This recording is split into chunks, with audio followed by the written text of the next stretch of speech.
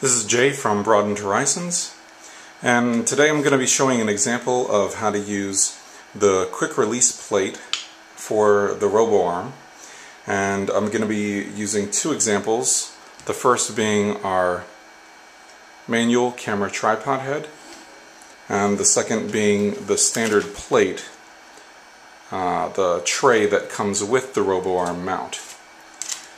And so here is the quick release plate and it's on the top of the RoboArm. The ball joint is there basically to hold the quick release plate in place and also to make adjustable whatever device is going to be on that quick release plate. So if you look on the release side of the quick release plate there's a small metal lever here now, in order to activate the quick release plate, you have to pull that down. That is going to unlock the quick release plate from the head. And then here is the actual lever to release the quick release plate. So again, unlocking here and then releasing through there. When you flip the lever out, the quick release plate then comes off. And what you're left with is the ball joint with the locking mechanism for the quick release plate. Now, on the manual camera tripod head here, which is going to be my first device that I place the quick release plate on, on this side, at the bottom of the manual camera tripod head, we have a uh, point where you can attach the quick release plate to the manual camera tripod head. And so I'm just going to do that really quickly here. Uh, it has a surface that then grips on to whatever device it is. And there. Then that is in place. Now, to reattach it to the RoboArm mount, you have to line everything up according to the way that it's supposed to be lined up here. And then basically it just snaps back into place. So I'm going to release it again to show you again here. So I'm releasing it. It's up here. And then this attaches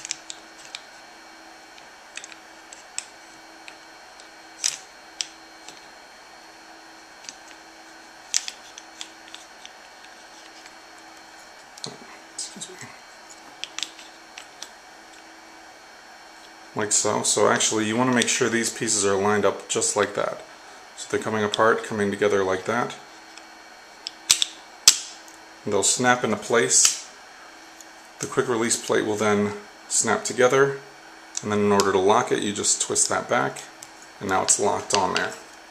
And even if you pull that quick release plate while it's locked it's not going to come apart. You have to unlock it first and then once you release the quick release plate that'll come off.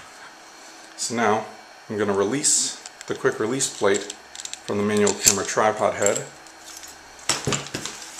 and attach it to my laptop tray here.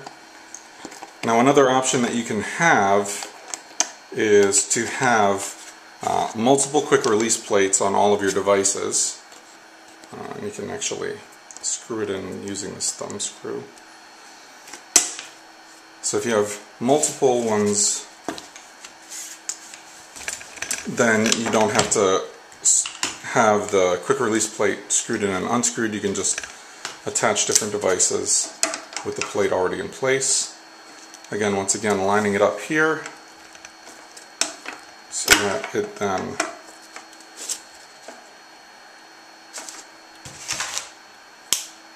want that pulled back lining it up here so that that will snap into place.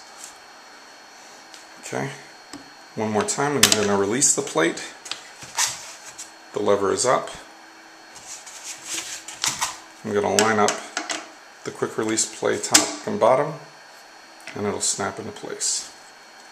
I lock it and it's locked. And then I tighten this part with the thumb screw and there you go securely mounted on the RoboArm mount.